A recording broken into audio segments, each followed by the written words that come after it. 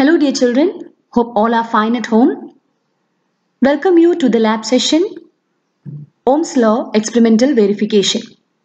Let us first look into the aim of this experiment to study the dependence of potential difference V across a resistor on passing a current I through it and determine its resistance R and also plotting a graph between V and I. So what is the theory? According to Ohm's law, the physical conditions of the conductor remain same. The current I flowing through a conductor is directly proportional to the potential difference V applied across it. So we know I proportional to V or the voltage is proportional to I that is current. So V is equal to IR where R is a constant called as the resistance of the conductor. So here the ratio of V and I remains constant for a given resistance.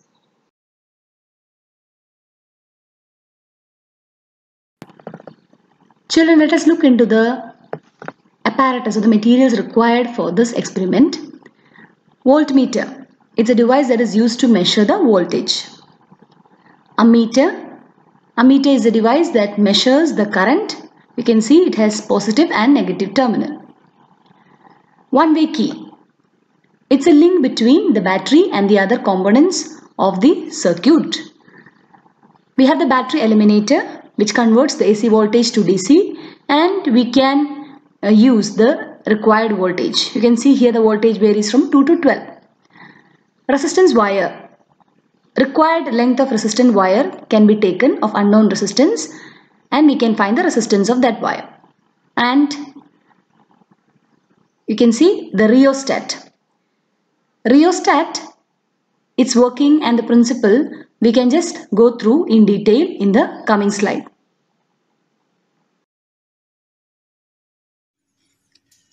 Hello scientific people, how are you? So today I'm going to talk about a very interesting electrical device that is generally used till grade 12 and this is called rheostat.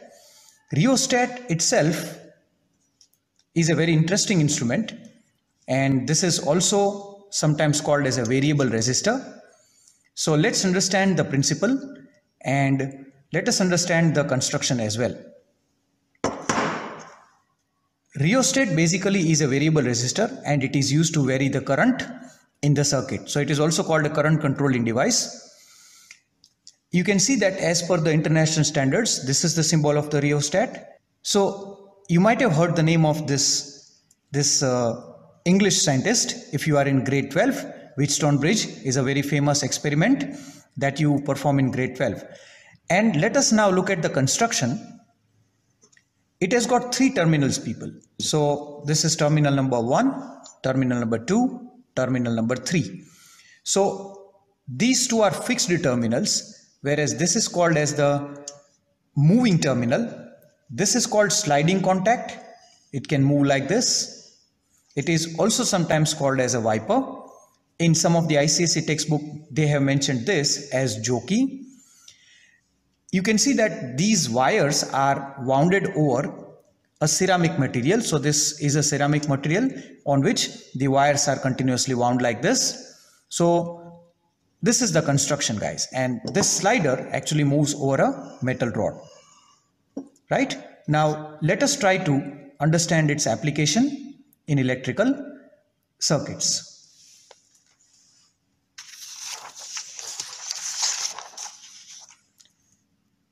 So here is the figure that represents the rheostat. Now these two are the fixed terminals, right? And this one is the movable terminal and this is jockey or you may call this as a wiper or sliding contact. Now we know that resistance of any conductor is equal to rho L by A. So resistance is directly proportional to the length of the conductor which means that if I have a coil having three turns and if I have coil having say 1 2 3 4 5 6 turns now if I allow the current to flow through this coil say like this then the current will pass through smaller number of turns only two turns and if I if I like elongate it like this the length of this conductor length of this solenoid would be small. So here the length is small. So the current has to pass through smaller length.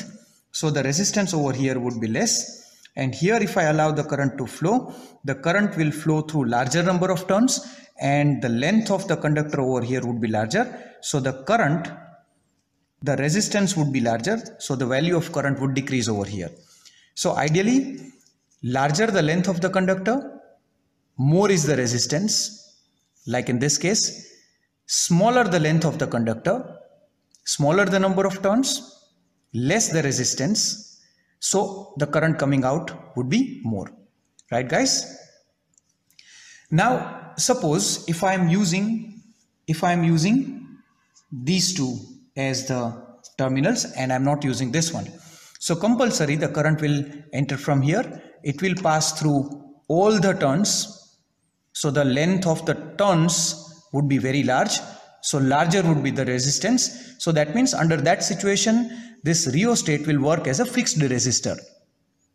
It will not work as a variable resistor. But now suppose if I am using these two terminals A and B so the current will come like this and the current will pass from here it will pass from here and then it is going to come out like this so now the current will pass through lesser number of turns so it will pass through less length of the conductor. So the resistance decreases.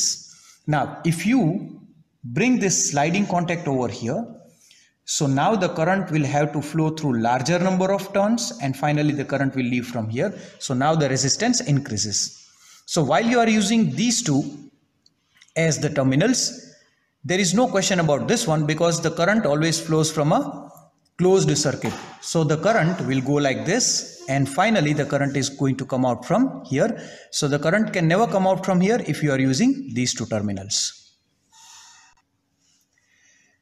So if I use these two terminals over here, so the current will enter from here, it will flow through less number of turns and finally it will go out from here.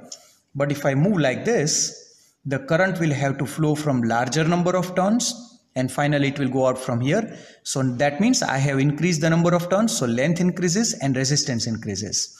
But if you use these two terminals there is no point about this terminal. So the current will have to pass through all the the turns and finally it will become a fixed resistor. So hopefully Children, let us now have a closer look into the circuit diagram for the verification of Ohm's law. The diagrammatic representation is also given along with. So we know the theory of Ohm's law that voltage should be proportional to current. So here let us uh, look or understand the connection. So ammeter, you can see ammeter here. Through connection wire, the positive of the ammeter is connected to the positive of the battery whereas the negative of the ammeter is connected to the positive terminal of the voltmeter. The negative terminal of the voltmeter through a wire, it is connected to the upper terminal of the rheostat and from the other side of the lower point of the rheostat, it is connected to a key and from the key again it is uh, going to the negative terminal of the battery. So finally the R that is a resistance wire R whose unknown resistance we have to calculate it is connected parallel across the voltmeter. So voltmeter we know we always connect it across or parallel to a, a resistor whereas ammeter we connect in series. It's clearly seen in the figure. So children this is our experimental setup and after making these connections you have to make sure that our connections are tight and neat and clean and when you switch on the key the current will flow from the positive terminal of the battery to the negative terminal and keeping the current minimum using the sliding contact of the rheostat you can check whether your connection is right. That means if the voltmeter and the ammeter are both reading or if their pointers move, we can make sure that our connection is right. And we can start taking the readings. So in the next slide, we'll make, uh, we'll understand how to take or how to read an ammeter and a voltmeter.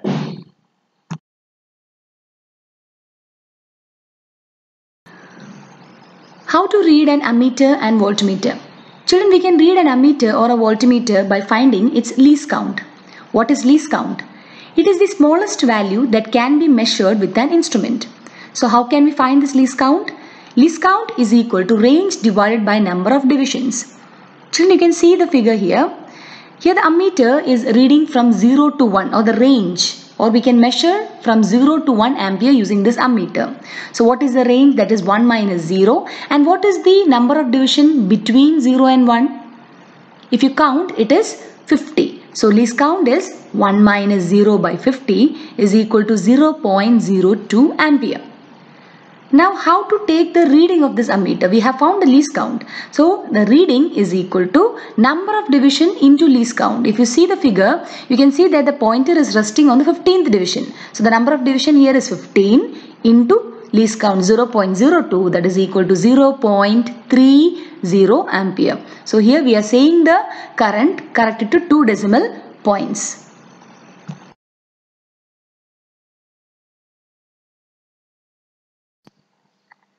Children now try to find out the least count of this ammeter. We can see the pointer. First find the least count and then take the reading.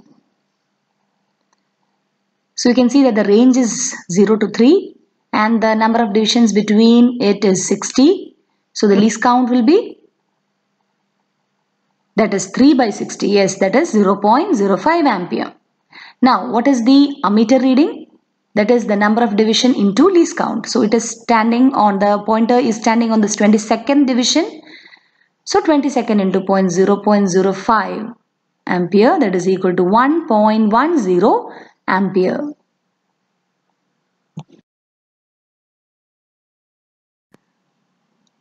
Children, let us now take the least count and reading of this voltmeter. The same procedure that we used in the previous case of an ammeter. First we take the least count and then we take the reading by multiplying the number of division into least count.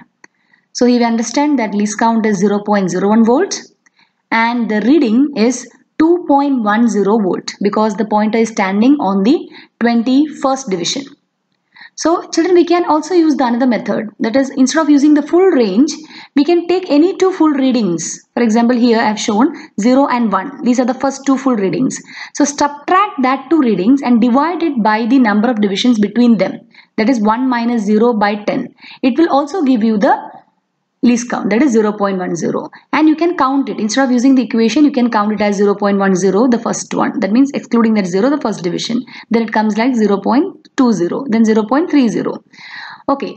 Now since uh, we have now gone through the aim the apparatus and how to read an ammeter and voltmeter now we'll watch a video uh, regarding the verification of Ohm's law. We'll check whether this particular resistance wire is obeying Ohm's law theoretically and graphically. Let's watch.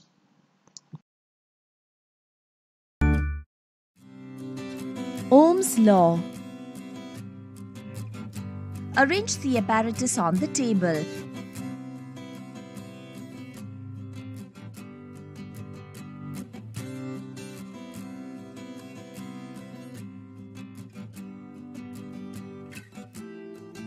Connect the positive terminal of the battery to the positive terminal of the ammeter Connect the other end of the ammeter to the positive terminal of the voltmeter using a connecting wire. The negative terminal of the voltmeter is connected to the upper terminal of the rheostat using a piece of wire. Connect the lower terminal of the rheostat to the one end of the one-way key using a connecting wire. Make sure that the key should be removed the other free end is connected to the negative terminal of the battery. Now take a resistance wire, stretch it and measure its length using a meter scale and cut the wire at the given point. Connect it parallel to the terminals of voltmeter. This is from positive to negative. The connection is completed.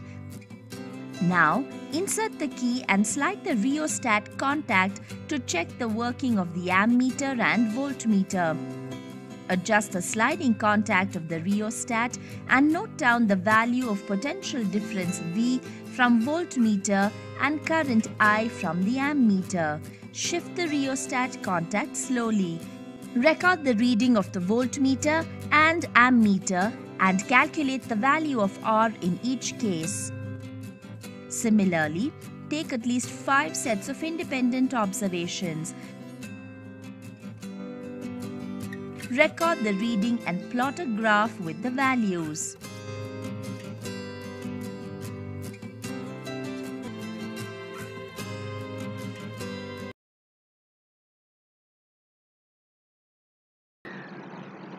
Okay children, hope the previous video helped you to understand the procedure of the Ohm's law experiment and we saw there that the particular resistant wire had a resistance of 2 ohms. As the voltage applied across its end was increasing, the current also proportionally increased. And which uh, that means it the resistant wire was ohmic conductor which obeys Ohm's law. And hence the ratio V by I is found to be a constant for the wire. And it is also uh, graphically cleared because when we plot a graph between V and I we get a straight line and the slope also gives a value which is equal to the theoretical value that we obtained earlier and hence the current we can say is proportional to voltage here and hence the Ohm's law is proved. So hope children you understood the experiment Ohm's law verification. Thank you and stay safe.